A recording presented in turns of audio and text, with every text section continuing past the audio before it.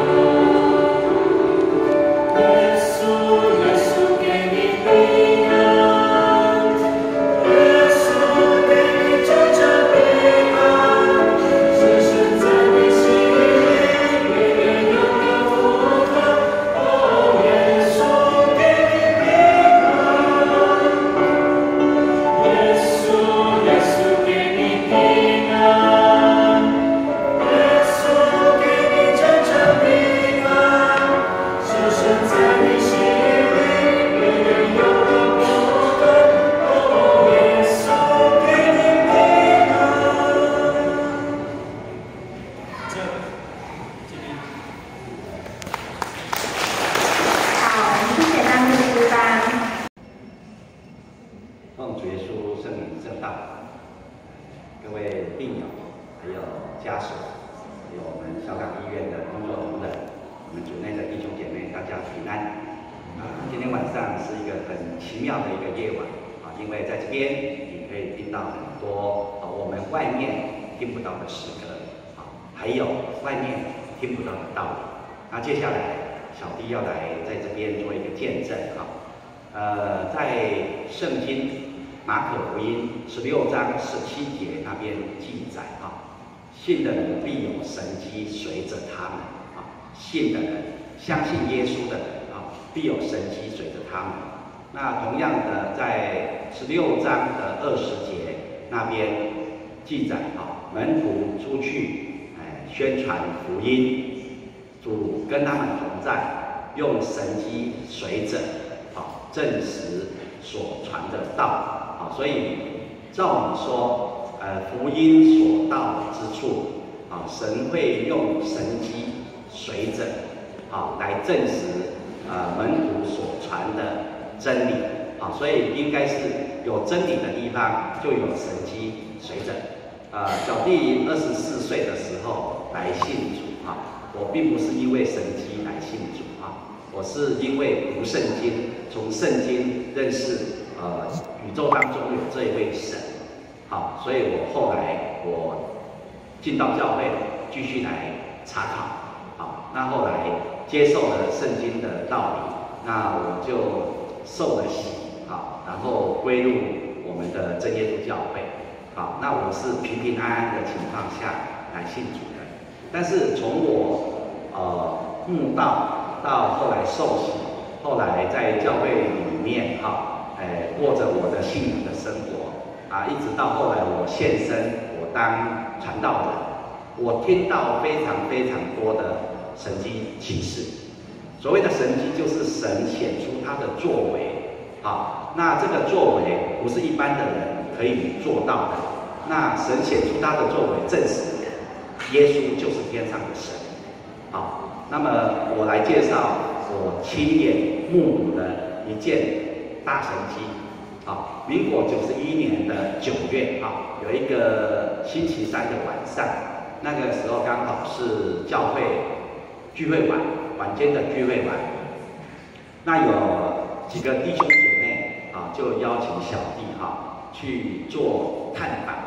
好，去到一户人家家里面去做探访，好，那么我就跟这些弟兄姐妹啊，到了这一户真信人家啊，这个家庭做探访。那为什么我们那个时候聚会晚，晚上九点多了，还会去做这个探访呢？因为这一户人家的主人啊，姓曾啊，曾先生，他在我们去探访的前几年啊，因为发生车祸，然后脑部受到重创，那在蜀立台南医院那边接受治疗，啊，情况并没有好转，后来转到呃成功大学附设的成大医院，在那边继续接受治疗。那情况也并没有好转啊。那这个曾太太呢，为了照顾她的先生，也没有办法去工作啊，所以这样子几年这样子拖下来，呃，他们也没有办法有经济收入啊，所以房子贷款也缴不出来。那房子即将要被银行啊查封拍卖了。那他在成大医院的时候，刚好碰到哈一个看护。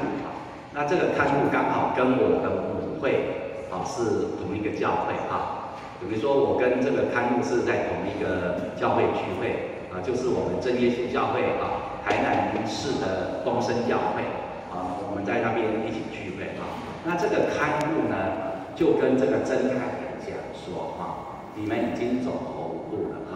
那有一位神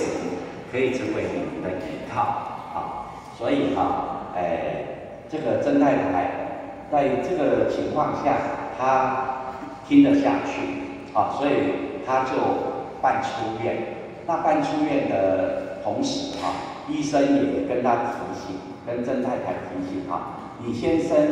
已经是植物人了，随时可能需要抽痰。那你们家又没有这个设备，回去可能会有一些风险。但是郑太太在这种情况下，她已经认为说。啊我就是要办出院，好，然后呢，我就是要去教会我就是要靠主耶稣了，啊，所以郑太太很有信心，啊，所以就办出院，就回到家里面。那我跟他素未谋面，从来不认识他。然后那一天晚上，我们到他家去的时候，啊，这个曾先生是躺在床上，那一个五十几岁的大男人，那时候的身体的体重大概只有三十几公斤而已，啊，所以可以说是瘦到只剩下皮包，哦，这样子的一个情况，那完全意识都不清楚，那眼睛呢是往上掉的，啊，那这样。那我一去到这个曾先生的房间，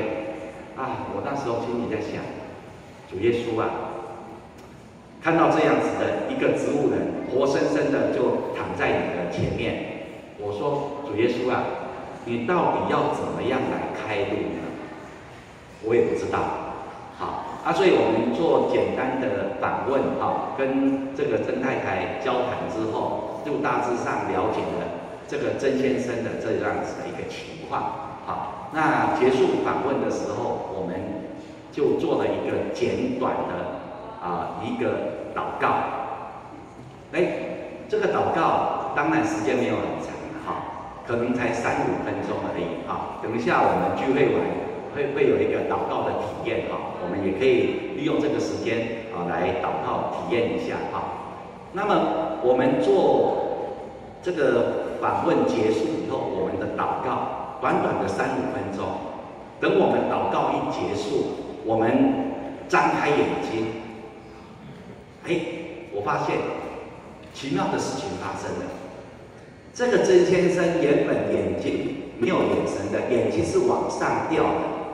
我们祷告完，他开始有眼神的，会看我们哦，会看到这个沙西米弟兄正在哦。正在录影哈，哎，哎，奇妙的事情在这短短的几分钟就开始发生了。好，后来我们教会决定，哎，就是每个星期六就是我们的安息日哈，那我们就派车安排车辆去把他们接来教会聚会。好，所以第一趟跟第二趟、第三趟大概都是我去载的。好，我跟另外一个青年。就这样子去到他们家去把他们夫妻接出来，因为曾先生只剩下三十几公斤的体重，所以蛮轻盈的。他的太太哈，就当我们去的时候，他太太就可以把他从床上抱着坐到轮椅上，然后我们就推出来，推到教会的箱型车。好，那么我们把教会的箱型车第三排把它往前推，然后整个。连人带轮椅哈，我跟另外一个青年就用提的，把轮椅到呃箱型车的呃后面那个位置，然后我就载他到我们的教会来。好，那到教会来的时候，因为那个时候我们的教会还没有电梯，好，所以到教会因为会堂在二楼，所以我们就安排四个人哈，哎，就拎着轮椅把曾先生啊抬到二楼的。会堂来跟我们一起聚会。那这个曾太太他很有信心，一来也是走投无路的哈，所以他在教会里面逢人就拜托他哈，哎，看到人就要某某人你要为我们祷告，某某人你要为我们祷告，就这样子哈。所以教会也是一直在为曾先生祷告。好，那经过好四个月。呃，就是到九十二年的一月，有一天安息日早上聚会完，啊，因为聚会完，我们听完道理，我们大家都要拿着圣诗啊，要站起来唱诗，好，这个时候我亲眼目睹曾先生从他的轮椅上站起来。这个时候的他不再是三十几公斤的他，这个时候的他已经大概是体重最起码超过六十几公斤。好，呃，我们去他们家在做访问的时候，哎，这个曾先生会拿着汽水，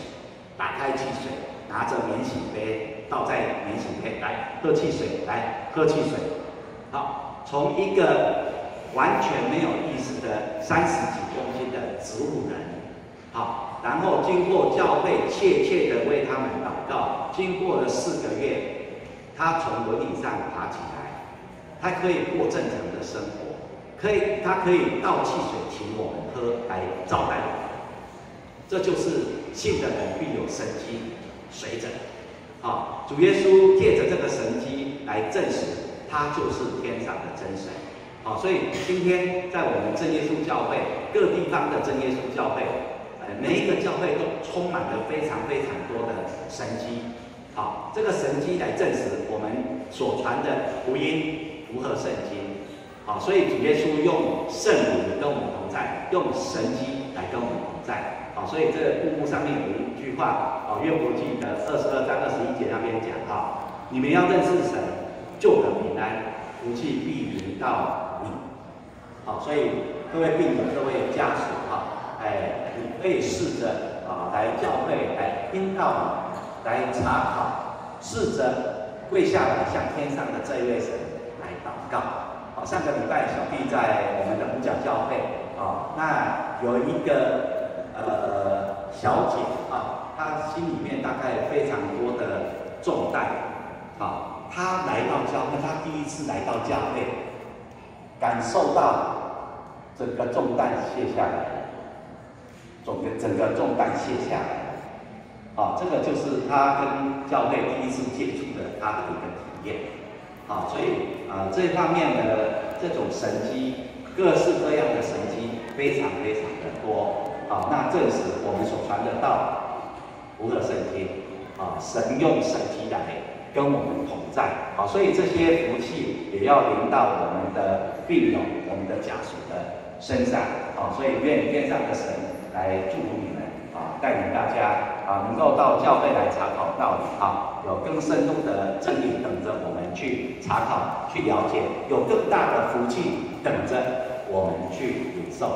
愿天上的神来祝福大家，阿门。好，谢谢传道。